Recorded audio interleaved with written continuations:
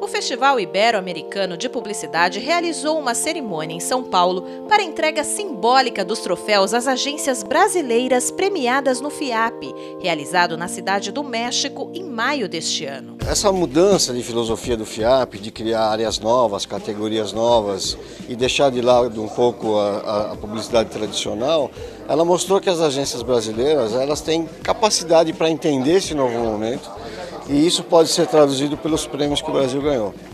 É, o, o Gran Sol ganhou pela W Macan, do Rio de Janeiro, que é um filme do, de um travesti fazendo papel de mulher, mostra um pouquinho dessa criatividade diferente que, que vem é, dominando no, na propaganda brasileira. E os prêmios da NASCA, da FNASCA, que conseguiu uma das dez Copas Ibero-Américas, além de um Gran Sol com Laika, também mostra que a gente está no caminho certo. O prêmio destacou 12 empresas do país e consagrou pela quinta vez consecutiva a Miami Ed School ESPM como escola do ano da região ibero-americana. Você ser a escola do ano no FIAP, você tem assim, a gente fica pelo menos confortável, vai, para não garantir, que nós somos a melhor escola de, da América Latina, mercado hispânico americano e esses dois países da Europa. Então conseguir isso já é um, um feito, né?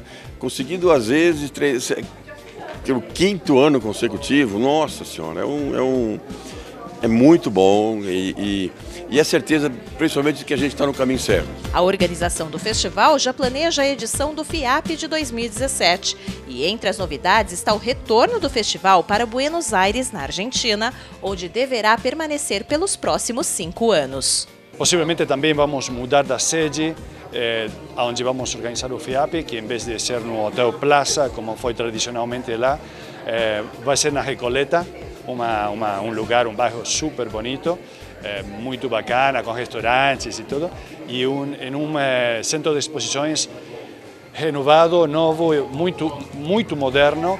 Eh, vamos continuar mudando disciplinas. Eh, um festival local ou um festival regional tem que premiar a, a propaganda local ou regional e não tanto as peças, as ideias globais. É, se você faz uma mensagem vendendo um iogurte para Dona Maria aqui em São Paulo, o importante é que seja Dona Maria que entenda essa mensagem, não um jurado japonês ou alemão. E, e, e possivelmente uma super boa ideia dirigida a Dona Maria fique fora de um prêmio em Cannes, porque o japonês não entende essa ideia. Então, nós temos que eh, promover as nossas próprias culturas. E acho que isso, essa, esse conceito, essa filosofia do FEAP foi que, que ajudou muito a posicionar a nossa região também no mundo inteiro.